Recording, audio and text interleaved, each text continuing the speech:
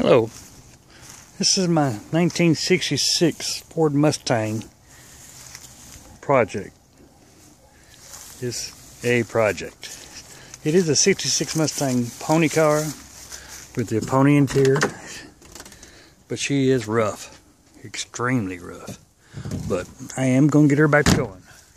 She does have a 289 V8 automatic.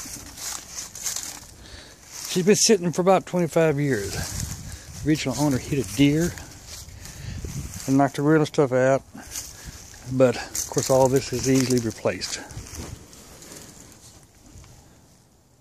It was a rebuilt engine, he said when he quit driving it, and transmission. I'm going to get her back running here very shortly. The original engine. And once I get it running, then I'm going to do the other things. Of course, I can buy every part of this car new. And I'm going to just going to take time and a lot of money.